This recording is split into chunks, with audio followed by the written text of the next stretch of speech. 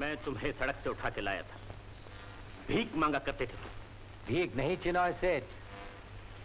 जेवें काटा करता था। जानते हो मुझे ये बातें पसंद नहीं? मेरे खिलाफ जाने का नतीजा मालूम है?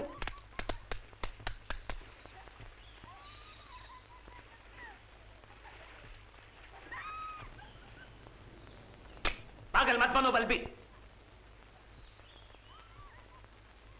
ये बच्चों के खेलने की चीज़ नहीं। हाथ कट जाए तो खून निकल आता है।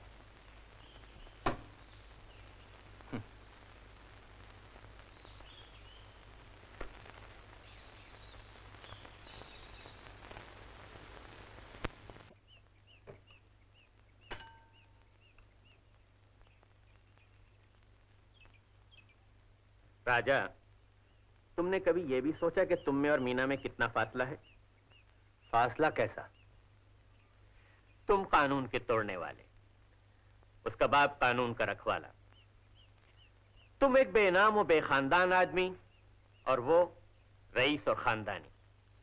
तुम चोर और वो जज। अब अगर तुम्हारा ये असली रूप उन्हें दिखाई दे गया बस समझ लो फिर क्या हो सकता है? मेरा असली रूप कौन दिखा सकता है उन्हें? तुम्हारे करतूत इसीलिए ये काम छोड़ दिया है मैंने चुनाव सेठ। लेकिन ये गुजरू ही कल जो तुम्हारे पीछे दौड़ी दौड़ी चली आ रही है। अगर इसने किसी दिन अपना चेहरा दिखा दिया तो? तो आप क्या समझते हैं मेरी जान? आपके कब्जे में है? नहीं भाई नहीं। जान तो मेरी तुम्हारे कब्जे में है। तुम तो जानते हो राजा मुझे हीरों का कितना शौक है। और रानी साहिबा कल शहर में तशरीफ़ ला रही हैं। हीरों की कान है। ये काम सिर्फ़ राजा कर सकता है। और राजा ना करे तो? तो राजा मैं जितनी मोहब्बत करता हूँ उतनी नफरत भी कर सकता हूँ। मोहब्बत और नफरत। चिनाय सेठ जिनके अपने घर शीशे के हों वो दूसरों पर पत्थर नहीं फेंका करते।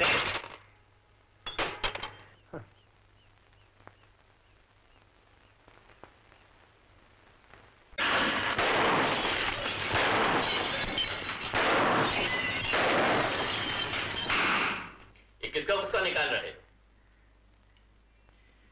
मित्तल साहब की साहबजादी की मंगनी का बुलावा आया है। तुम तो घर के आदमी हो। तुम्हें तो ज़रूर आया होगा। ज़रूर आया है। लेकिन गलती से तुम्हारे नाम की बजाय रवि का नाम लिख दिया है उन्होंने दुल्हा की जगह।